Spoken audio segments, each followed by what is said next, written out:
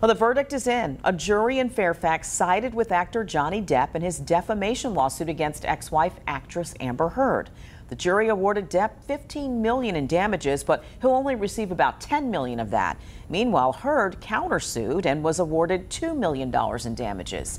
Throughout the trial, Heard faced scrutiny and public shaming. And Sarah Hammond learned some domestic violence shelters are concerned for what this might mean for victims.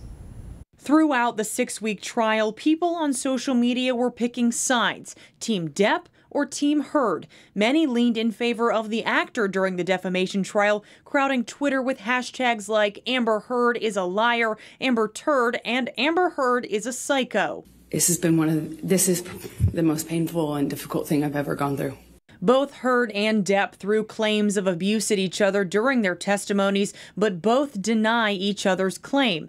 The verdict and the spectacle of the trial leave some advocates worried this could deter domestic violence victims from coming forward. And there's so much public support and you know so much opinion and memes and Facebook posts and all that kind of stuff. I'm sure people at home are thinking, you know, if somebody doesn't believe somebody on this scale, why would somebody believe me? Olivia Smithberger is the executive director at Her Shelter in Portsmouth. They help victims with shelter, supplies, and even court advocates to guide them through the legal process and a shoulder to lean on. Court can be a really scary thing, and to have to go to court alone uh, can be the reason why some people choose not to do it. She says both men and women come through their doors and they welcome them with open arms. We're here to support survivors um, we're not here to judge or ask for proof. On average, nearly 20 people per minute are physically abused by a partner in the United States, according to the National Coalition Against Domestic Violence.